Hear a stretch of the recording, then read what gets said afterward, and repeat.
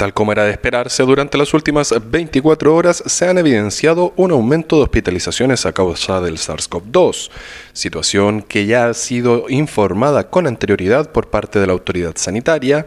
Este aumento en la ocupación también va de la mano con la fuerte alza de casos que han sido detectadas en las últimas semanas, por lo que actualmente son cuatro las personas que se encuentran hospitalizadas en la red público-privada de salud tres de ellas en sala de aislamiento y uno en la unidad de tratamiento intermedio.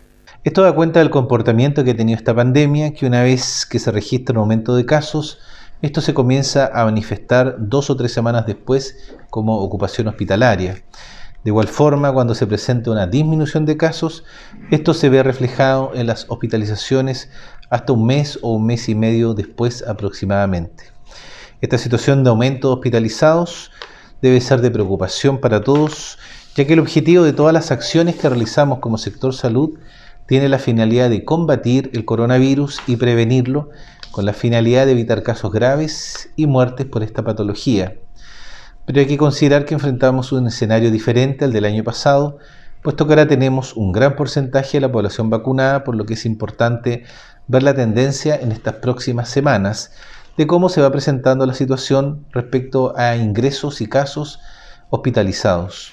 En tanto, respecto a las cifras, este miércoles Epivigila notificó siete nuevos casos para Magallanes, cuatro de estos de Punta Arenas y los tres restantes pertenecientes a la comuna de Puerto Natales. Así, los casos activos alcanzan las 62 personas y la positividad del día llegó a un 1% tras el análisis de 760 exámenes de PCR en los distintos laboratorios de la región.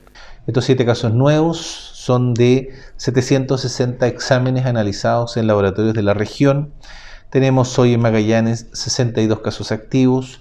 La positividad diaria ha bajado un 1% y la semanal se mantiene en 2%. 28.778 personas están recuperadas y tenemos el número de fallecidos que se ha mantenido en 499. Llegamos a la cifra de exámenes de PCR a la fecha 317.177. Finalmente, a nivel hospitalario, son 302 las personas internadas en la red público-privada de salud, incluidos los cuatro pacientes afectados a coronavirus. Así, la ocupación de la unidad de cuidados intensivos de la red es de 12 personas, dejando 9 camas disponibles. Por su parte, a nivel de tratamiento intermedio son 17 las personas hospitalizadas, dejando una disponibilidad de 13 camas en la red de salud regional. De esta forma, durante este miércoles, la ocupación de camas críticas alcanzó un 56,9%.